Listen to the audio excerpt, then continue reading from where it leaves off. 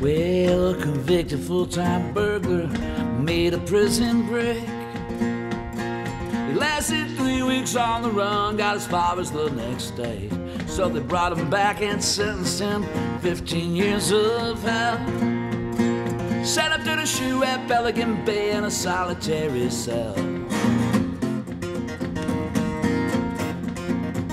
Said there's nothing to it, to himself as they slammed the door. Cubicle, a bed and not much more. It's the Pelican Bay Supermax, a calendar to count the days of endless isolation, lost in a one room maze. Now there's two million people in prison tonight in the USA. 80,000 in solitary